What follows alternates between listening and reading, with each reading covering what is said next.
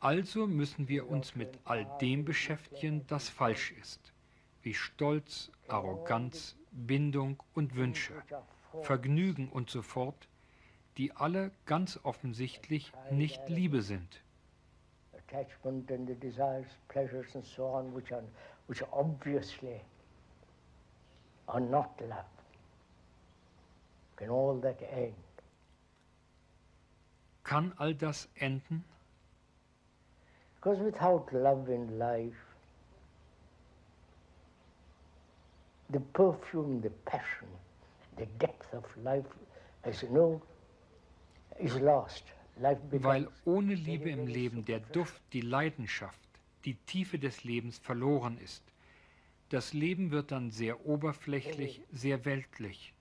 Und das geschieht ja auch zunehmend in der Welt, weil wir nie herausgefunden haben, was es heißt, einander zu lieben.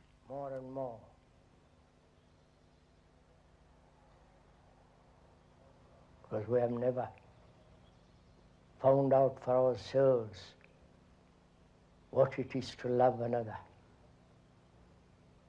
Love is not a remembrance of past events and past pleasures. Love is not knowledge. Liebe ist keine Erinnerung an vergangene Ereignisse und vergangenes Vergnügen. Liebe ist nicht Wissen.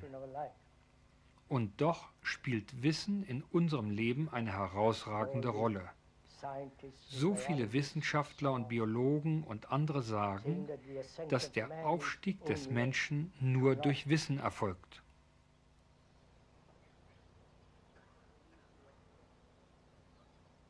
We so easily accept what the professionals say. We never inquire for ourselves. Wir nehmen so unkritisch an, was Experten sagen. Wir prüfen nie selber. Ich finde, dass eines der großen Probleme ist, man mag sich täuschen, dass Bücher so wichtig geworden sind. Das, was andere Menschen gesagt und geschrieben haben, all die Experten und Psychologen, all the professionals, psychologists, We're talking of the, not the professionals wir reden nicht von den Fachleuten der Technologie, sondern von psychologischen Experten, die ein großes Maß an Wissen über sich selbst und andere Menschen gesammelt haben. Wird dieses Wissen den Menschen transformieren?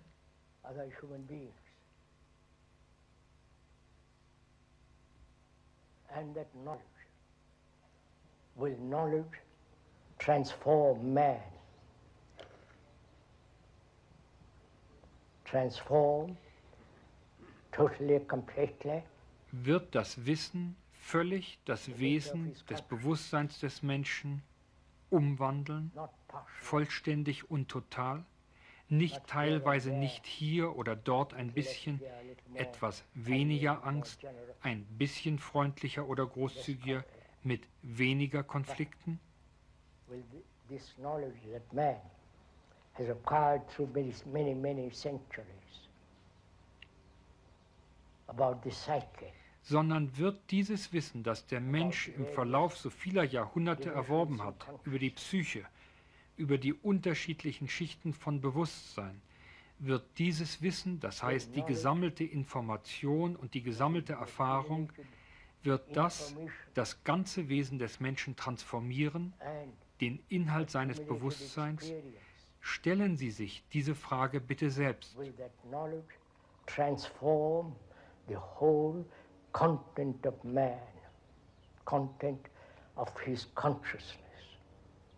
Please ask this question of yourself.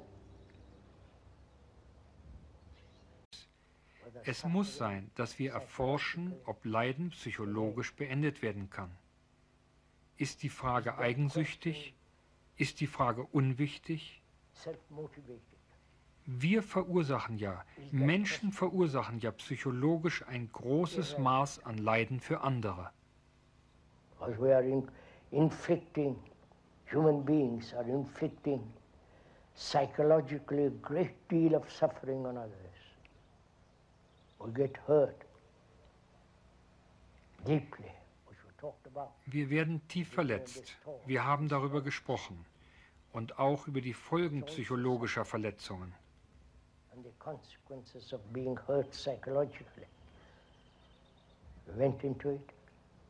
the resistance, the isolation, fears, and so on. And in the Christian world, suffering has been avoided in the worship of a symbol. Wir haben Widerstand, Isolierung, Ängste betrachtet. In der christlichen Welt wird Leiden in der Anbetung eines Symbols ausgewichen, aber dennoch existiert Leiden. Die asiatische Welt kennt viele Erklärungen des Leidens, und doch leiden sie. Anscheinend gibt es kein Ende des Leidens, des menschlichen Kummers, der Not, der Trauer. Es scheint kein Ende zu haben. That seems to have no end. Wir sollten gemeinsam erkunden, nicht verbal oder intellektuell, sondern gefühlvoll herausfinden, ob Kummer wirklich aufhört. Denn wo Kummer ist, ist keine Liebe. Wo Kummer ist, ist kein Mitgefühl. there is an ending completely of sorrow. Because where there is sorrow, there is no love. Where there is sorrow, there is no compassion. Where there is sorrow, there is no depth through intelligence. So one must go into this question. Wo es Kummer gibt, gibt es keine tiefgründige Intelligenz. Man muss sich also der Frage zuwenden, wer leidet. Wenn Sie es jemandem anderen überlassen, Ihre Probleme zu lösen, dann machen Sie sich von anderen abhängig und verlieren damit die Ihnen innewohnende Fähigkeit, alle menschlichen Probleme zu lösen, die Sie betreffen. Problem, then you depend on others, and therefore you lose your own intrinsic capacity to solve all the human problems of which you are, of which you are. So we are asking, who is it that suffers? Wir fragen also, wer leidet? Wenn Sie Tränen vergießen, sich völlig verloren fühlen, den Schock spüren, dass jemand gegangen oder verloren ist, den Sie lieb hatten, wer ist es, der dieses Gefühl großen Leids hat? Is gone or lost. Who is it that has this feeling of great pain? Which means Das who is heißt, wer ist das, wer ist dieses Ich, das sagt, ich leide? Who is Wer this ist dieses Wesen, das den Schock und die Not und die Verzweiflung der Einsamkeit erlebt? feels this shock and the pain and the despair of loneliness? Is this an important question to put to and to ask? Das ist wirklich eine wichtige Frage, auch im Zusammenhang mit der Frage nach dem Tod, nach dem Wesen des Sterbens. So what is it that dies? Was also stirbt? Die Ansammlung von Wissen über einen selbst, die Anhäufung von Besitztümern, die Ansammlung von all den Dingen, an die sie gebunden sind. Ist es also möglich, die ganze Zeit mit dem Tod zu leben? So is it possible to live, please understand this, to live with death all the time? The ending. Bitte verstehen Sie, das ist das Enden aller Dinge, während Sie leben, Tag für Tag, verstehen Sie. Das heißt, dass Geist und Gemüt jeden Tag frisch reinkarnieren.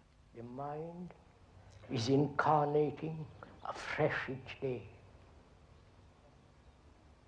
That is creation. Das ist Schöpfung. Das ist ein schöpferischer Geist, kein erfinderischer. Es gibt einen großen Unterschied zwischen Erfindertum und Schöpfung. Die gesamte technologische Welt und die Techniker dieser Welt sind erfinderisch, weil sie Wissen benutzen.